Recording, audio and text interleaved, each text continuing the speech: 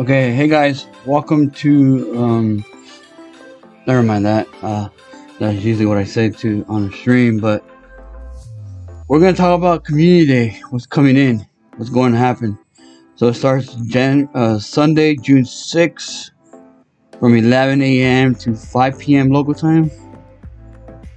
He says Gible will be appearing more frequently in the wild. If you're lucky, you might encounter a shiny one.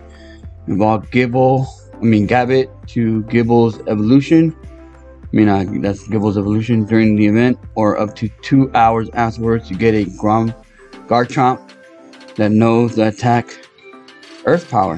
You can take a few snapshots during the new day, blah blah blah. There will be special one-time purchase community day box available for a thousand two hundred and eighty coin, uh, coins, featuring 50 Ultra Balls, 5 Incense, 5 Lucky Eggs, and Elite Charge TM.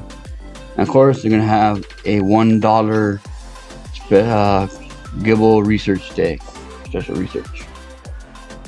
So there's that. Okay, now on to some tips to get you the best experience from Gible Community Day. First tip, I strongly recommend you guys to clear out your inventories. Sounds like basic stuff, but it can really help a lot of remove the extra gifts you have in your inventory, get rid of anything that's useless to you, and make space for Pokeballs. I suggest mostly Great Balls and Ultra Balls. You guys can have a higher chance of catching Gible faster and also use raspberries and pineapple berries to increase the catch rate. Time is money during community day. The faster you can catch one Gible, the faster you can move on to another one.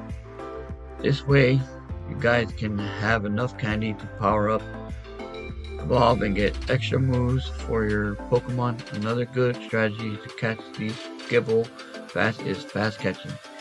If you guys don't know what fast catching here is a brief explanation. Fast catching is um you know how look you see there's a Murkrow right here. Since I do have iPogo, the hack version of Pokemon Go, you go to settings and you have the VIP version. You can have fast catch. What fast catch does is you see this Murkrow catch it. Um, here you just catch it and there you go. And also you can release it. There also a good feature to this app. Really important to tip get those incense because they're going to be lasting for three hours. That's half amount of time for the event. So make sure you have two of them in and if you're not the type of person to waste money on a free play game, that's okay. You can go to nearby gyms and place your Pokemon there to earn some coins.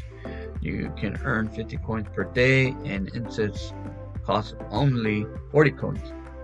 On the next tip, lucky eggs. You guys have to use those lucky eggs.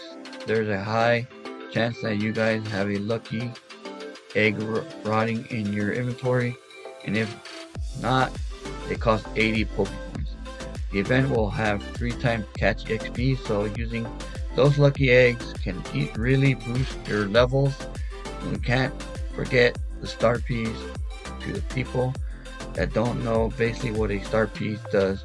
It doubles the amount of star dust you get from catching a Pokemon, which is pretty helpful Stardust is hard to come by, so make sure you're using that star piece during the community day. Now to the advanced tip for the higher level players.